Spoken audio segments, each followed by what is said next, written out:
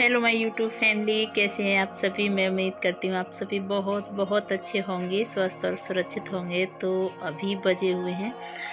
दोपहर का शायद मुझे लग रहा है टाइम हो रहा है और आज का वीडियो दोपहर से शुरू हो रहा है। थोड़ी सी क्लिप थी ये मेरे पास, इससे फिर आप देखोगे तो वो नेक्स्ट डे का होगा।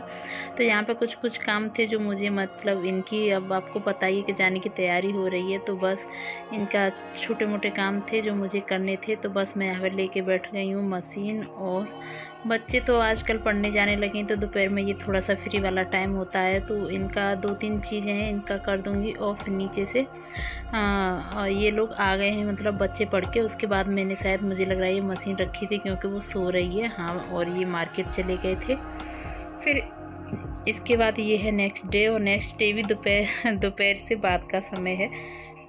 क्योंकि इतना बिज़ी बिज़ी वाला टाइम चल रहा है ना टाइम टेबल से कुछ हो ही नहीं पा रहा है, लेकिन अभी सब सही हो जाएगा। तो बस यहाँ पे मैं थोड़ी सी देर सो गई थी, सोने के बाद फिर मैं अभी उठी हूँ। उठ के थोड़ा सा आजकल गर्मी में बार बार इतना लगता है, पता नहीं, जैसे लगता है ना, ठंडे पानी से कितना हाथ मुँह धोते रहें तो बस मैंने यहाँ पर हाथ मुँह धोया है और इसके बाद फिर मैं आ गई हूँ। कपड़े उतारने के लिए, क्योंकि कुछ मौसम आज ऐसा ही लग रहा है चेंज चेंज जैसा जैसे मौसम ख़राब होगा क्या, कुछ ऐसा ही लग रहा है। तो बस यहाँ पे वैसे तो मैं सारे पहले ही धो चुकी थी, इनकी सारी तैयारियाँ लगभग कर चुकी थी, लेकिन फिर भी जो एक दो कपड़े थे जो इनको ले जाने थे जैसे वो ओढ़ने वाला तो फिर वो मैंने आज धो दिया, जो भी है मतलब इनका वो आज मैंने क्लियर कर दिया। और अभी मेरा शाम का रूटीन समझ लीजिए, और मतलब आगे चल के ना वीडियो पूरा देखिएगा। आपके कई कई बार आप लोगों ने क्वेश्चन किया उस चीज़ को लेके तो आज मैं आपको आंसर उसका भी दे दूँगी कि आप आसाम क्यों नहीं जा रही हो। तो बस उस बारे में मैं आपसे आगे बात करती हूँ। और बस कपड़ों को रखने के बाद फिर सीधा मैंने निकाल लिया आके फ्रिज से दूध और देखिए यहाँ पे भी बर्तन बच्चों को खाना खिलाया था ना उसके रखे उनके बैग वगैरह भी रखे।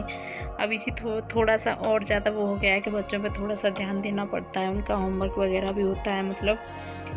जो शाम को ज़्यादा टाइम होता था, अभी शाम वाला काम बिज़ी बिज़ी वाला हो गया है तो पहले मैं यहाँ पे चाय दूध बना लेती हूँ, ये सारी चीज़ें कर लेती हूँ। उसके बाद काफ़ी सारे बर्तन भी हो गए जो कि बर्तन धोने मतलब सुबह से शाम तक काम काम काम काम तो ख़त्म ही नहीं होते हम औरतों का यही होता है, हम मेरा ही नहीं, सब लोगों का। तो फटाफट से यहाँ पे मतलब चाय मेरी देखिए, यहाँ पे बनाने के लिए रख दी है मैंने, और ये देखिए कितने ताज़ा ताज़ा टमाटर हैं ना, जो कि खेत से लाए हैं। वैसे हमारे मैंने किसी और से लिए हैं लेकिन मार्केट से तो अच्छा ही पड़ता है ना, ताज़ा सब्ज़ी अगर खेत पे हैं तो खेत से लेने में। और ये देखिए, यहाँ पे किए थे चावल फ्राई दोपहर में, ये मैंने नहीं किए। उन्होंने बनाए हैं मेरी ननद ने। और यहाँ पे बन रही है चाय और बच्चों का मतलब दूध बना लिया है मैंने। तो यहाँ पे मेरी चाय भी खोल रही है। पहले बस, सबसे पहले फिर मैं अभी बच्चों को दूध पिलाऊँगी शाम का टाइम। और एक सुबह को मतलब जैसे मैं दूध पिलाती हूँ, जैसे उठते के साथ दूध पिला देती हूँ तो उसको लेकर मुझे एक कमेंट आया था कि, बासी मुँह दूध मत पिलाया करो। तो ये जब से ज़्यादा छोटी थी ना, तभी से एक आदत जैसी बन गई थी। अभी उनको आदत बन गई। धीरे धीरे मैं आदत डाल दूँगी इनको कि जैसे पहले उठो, हाथ मुँह धो, उसके बाद दूध, लेकिन अभी तो मैं पिला देती हूँ। क्योंकि इनको बहुत छोटी थी, तब से मैं पिला रही हूँ तो उनको वो चीज़ आदत में आ गई है तो उनको उठते के साथ दूध चाहिए, सोती रहती हैं तब। तो बस यहाँ पे ये भी लेटे हुए हैं और कल सुबह ये चले जाएँगे। अभी ये तीनों के तीनों सोए हुए हैं और वो मतलब लेट से सोई है ना तो इतना नींद में थी कि वो दूध पी नहीं रही थी। कोई सी दोनों में से दूध नहीं पिया है, फिर यहाँ मैंने हार थक के दूध को मैं ऐसे ही रख दूँगी। और मैं अपना चाय पी लूँगी और तैयार हो लूँगी, क्योंकि शाम का टाइम हो रहा है, फिर काम का भी टाइम होता है, दोपहर में तो फिर ऐसे ही नहा धो के ना, फिर कभी कभी जब मुझे आलस आता है तो मैं ऐसे ही लेट जाती हूँ, क्योंकि थक तो जाते हैं, परेशान हो जाते हैं, बच्चों की वजह से और थोड़ा सा जल्दी उठना पड़ता है। पाँच बजे उठो, तब जाके कहीं सात बजे तक आप बच्चों को तैयार करके निकाल पाते हैं, नहीं तो फिर नहीं हो पाता है। तो बस यहाँ पर थोड़ा सा कंगी वगैरह कर लेती हूँ और थोड़ा सा तैयार हो लेती हूँ। उसके बाद फिर जाऊँगी मैं अपना जो बाकी का काम है, वो सब करने के लिए और मतलब ऐसे ही जैसे वही है ना कि बच्चों के साथ में फिर आपको टाइम देना पड़ता है। इन लोगों के लिए भी मुझे टाइम निकालना पड़ता है और देखिए यहाँ पे ना फिर मौसम इतना ज़्यादा ख़राब हो गया था शाम को कि बहुत ज़्यादा अभी देखिए आपको मैं दिखाती हूँ। ये देखिए ऐसा लग रहा था जैसे एकदम से अभी बारिश आने वाली है क्या बिल्कुल बादल एकदम से छा गए हैं। थोड़ा सा और थोड़ा सा क्या आंधी तूफ़ान जैसा भी लग रहा था जैसे मतलब बारिश तो इन दिनों में कम ही आती है आंधी तूफ़ान ज़्यादा आता है बारिश कहीं नहीं आती है। कैसे आप सभी? आई होप आप सभी बहुत अच्छे होंगे फ़िलहाल तो मैं भी ठीक हूँ।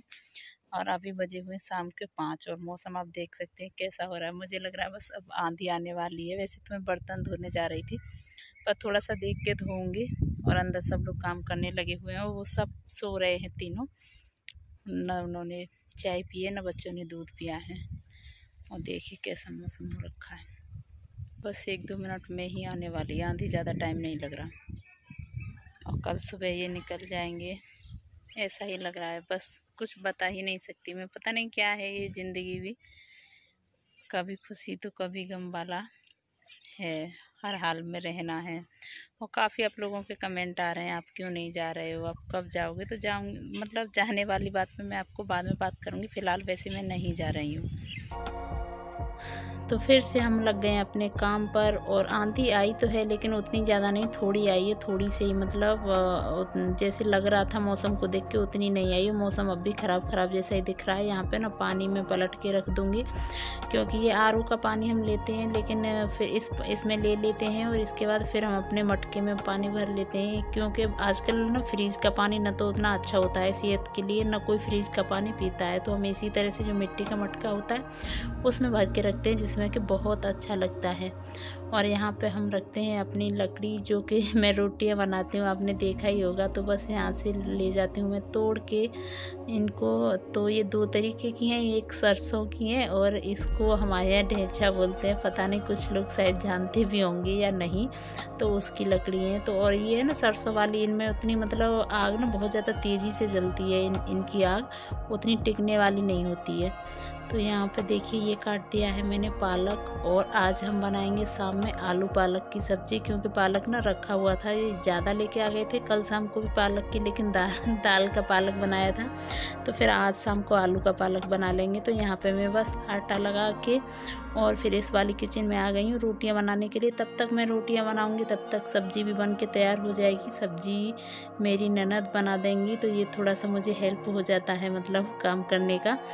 और देखिए ना, ये देखिए यहाँ पे मतलब मेरी मतलब हमारी सब्ज़ी बनकर हो गई है तैयार। आलू पालक की कितनी अच्छी सब्ज़ी लग रही है ना, काफ़ी टेस्टी लग रही है देखने में। तो फटाफट से चलिए खा लेते हैं खाना। ये रही मेरी रोटियाँ जो मैं बना के लेके आई हूँ चूल्हे पर।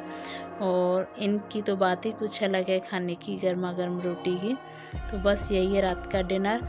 और अभी फटाफट से ये करेले हैं, एक के जी करेले। और इसको मैं नहीं काटूँगी, मम्मी को दूँगी काटने के लिए क्योंकि मेरे पास ना काम बहुत सारा है और टाइम भी काफ़ी हो गया है, अभी बच चुके हैं। पूरा काम ख़त्म करते करते बर्तन वर्तन धोए तो मुझे लगा साढ़े नौ, दस बज गए थे। फिर उसके बाद थोड़ा बहुत इतना पहले से मैंने किया लेकिन फिर भी बच रहा था। इनके कपड़े वगैरह, कपड़े तो प्रेस कर दिए थे लेकिन जो ड्रेस ये पहन के जाएँगे वो अभी प्रेस करनी थी। और देखिए ज़िंदगी ना मतलब क्या क्या रंग दिखाती है, बस ऐसे ही ज़िंदगी फिर से दोबारा से उसी मोड़ पे मुझे लेके आ गई है, जहाँ के मैं तीन साल पहले खड़ी थी। तीन साल पहले तो मैं मतलब यहीं रहती थी अपने ससुराल में, फिर मैं साथ में चली गई तो वहाँ उस टाइम का कुछ भी पता नहीं चला कि सब कैसे निकल गया। तीन साल 2019 में मैं गई थी, लेकिन ऐसे ही होता है ना, जब साथ में रहते हैं तो पता ही नहीं चलता है टाइम का। और आप लोगों के काफ़ी कमेंट आए कि आप आसाम नहीं जा रहे हो क्या? देखिए तो कुछ ना कुछ प्रॉब्लम है, इस वजह से मैं नहीं जा रही हूँ, नहीं तो ऐसी कोई दिक्कत नहीं थी। क्योंकि मैं आपको बता दूँ, उधर क्या है, उधर सेमी फ़ील्ड जैसा है पीस जैसा नहीं है और जो ये डिफेंस में सर्विस करते हैं, वो जानते होंगे। क्योंकि फ़ील्ड में तो बिल्कुल क्वार्टर होते ही नहीं है, लेकिन सेमी फ़ील्ड है, वहाँ क्वार्टर वगैरह तो है, लेकिन वो भी बस आपको एक साल के लिए है। और एक साल के बाद ना तो आपको सिविल में क्वार्टर मिलेगा, फिर आपको फैमिली घर पर ही छोड़नी पड़ेगी। तो बताइए बच्चों की वजह से फिर बच्चे हैं, इनको एडमिशन वगैरह कराइए, फिर इनको मतलब आप समझ ही सकते हैं, एक साल के लिए, पता नहीं कब से कब मिलता, अभी मिलता नहीं। क्योंकि अभी तो ये गए नहीं है तो क्वार्टर कहाँ से मिल जाएगा? तो बच्चों की ये साल भी फिर ख़राब हो जाती, मैं यहाँ एडमिशन नहीं कराती तो वहाँ पता नहीं कितना दिन लग जाता क्वार्टर के लिए। और दूर भी इतना पड़ता है कि दो दिन पहुँचने का लगता है तो इस वजह से मतलब काफ़ी सारी प्रॉब्लम्स हैं जिनकी वजह से फिर मैंने सोचा कि या घर पर ही रहना अच्छा है, कम से कम यहाँ परिवार के साथ तो हैं। वहाँ फिर वही हो जाता है एक साल के लिए जाओ, एक साल में आप समझ ही सकते हैं, अच्छे से सेट भी नहीं हो पाते हैं।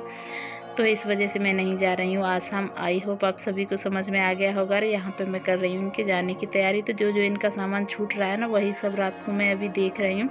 और अभी रात के दस, साढ़े दस बज चुके हैं तो इस वीडियो को भी मैं यहीं पेंट करूँगी। मिलूँगी नेक्स्ट एक अच्छे से वीडियो ब्लॉग के साथ में।